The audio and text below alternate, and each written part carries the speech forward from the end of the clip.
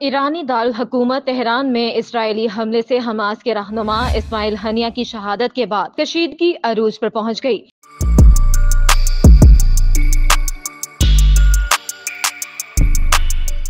ایران نے دو ٹوک الفاظ میں واضح کر دیا کہ غزہ میں جنگ بندی ہونے کی صورت میں ایران کی اسرائیل پر جوابی حملے کی کارروائی موخر ہو سکتی ہے۔ برطانوی میڈیا کے مطابق، ایرانی حکام کا کہنا ہے کہ غزہ جنگ بندی، مذاکرات ناکام ہونے یا اسرائیل کے مذاکرات سے پیچھے ہٹنے کی صورت میں ایران اسرائیل پر براہ راست حملہ کر دے گا۔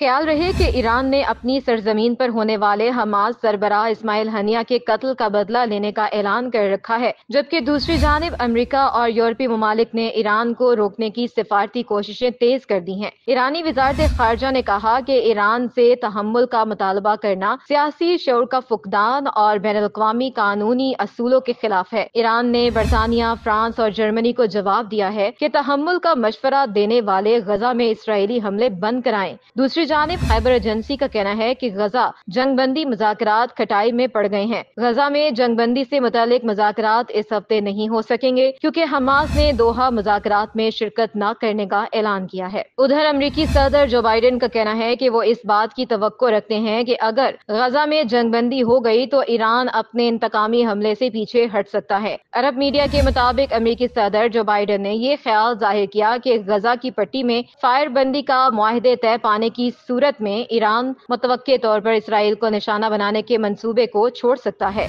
امریکی صدر کے مطابق ایران کی جانب سے حملہ اسرائیل اور حماس کے درمیان معاہدے تک پہنچنے کی عمل کو پیچیدہ بنا دے گا۔ اس سے قبل پینٹاگون کے ترجمان پیٹرک رائڈر نے کہا تھا کہ ایران حماس کے سابق سربراہ اسماعیل ہنیا کے قتل کے جواب میں رواں ہفتے کے اول میں اسرائیل پر حملہ کر سکتا ہے۔ امریکہ کی جانب سے بتایا گیا ہے کہ وہ ابھی تک امید کر رہا ہے کہ اسرائیل اور حماس جنگ بندی کے مذاکرات کو رواں ہفتے دوبارہ شروع کر دیں گے۔ ادھر قطر بھی حماس کو بات چیت میں شرکت پر قائل کرنے کی کوشش کر رہا ہے۔ امریکہ، مصر اور قطر نے گزشتہ ہفتے اسرائیل اور حماس کو مشرقہ طور پر اعلانیہ دعوت دی تھی کہ وہ مذاکرات کریں۔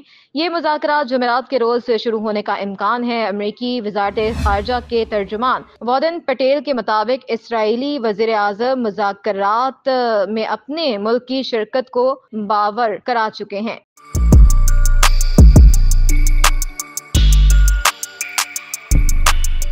جبکہ قطر نے تصدیق کی ہے کہ وہ حماس کی نمائندگی یقینی بنانے کے لیے کام کر رہا ہے۔ دوسری جانب، امریکہ نے مطالبہ کیا ہے کہ خطے میں کشیدگی کم کرنے پر ترکیہ اور دوسرے اتحادی ایران کو جوابی حملے سے روکنے پر آمادہ کریں۔ عرب میڈیا کے مطابق، ترکیہ میں امریکہ کے سفیر جیف فلیک نے صحافیوں سے گفتگو کرتے ہوئے کہا، اتحادی ممالک اور ترکیہ سے قائل کریں کہ وہ اسرائیل پر جوابی حملہ کرنے سے رک جائے۔ امریکی سفیر جیف فلیک نے کہا کہ ترک رابطہ کار کوشش کر رہے ہیں کہ حالات مزید کشیدہ نہ ہوں۔ یہ امریکی درخواست اس تناظر میں سامنے آئی جب ایران، تہران میں حماس سربراہ اسماعیل ہنیا کی شہادت کے واقعے پر اور حزب اللہ بیروت میں اپنے کمانڈو فواد شکر کی اسرائیلی حملے میں شہادت کا جواب دینے کے لیے اسرائیل کو دھمکی دے چکے ہیں اور امریکہ نے اپنے جنگی اثاثے اسرائیل کی مدد کے لیے خطے میں بھیجے ہیں۔ تاہم جیف فلیک کا کہنا ہے کہ میرے خیال میں امریکہ اور ترکیہ کے درمیان تعلقات اب بہتر ہیں۔